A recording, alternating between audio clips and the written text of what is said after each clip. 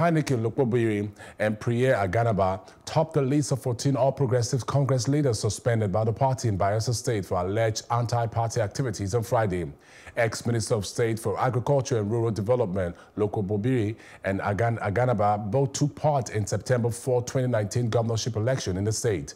In a statement, spokesman for the APC in the state, Doifie Buokoribo, said the suspension followed the report of the disciplinary committee set up on July 31, 2019 to probe allegations of anti-party activities alleged against them. Buokoribo said the action is is to send signal to deviants masquerading in the party, especially those working against its collective interests and aspirations.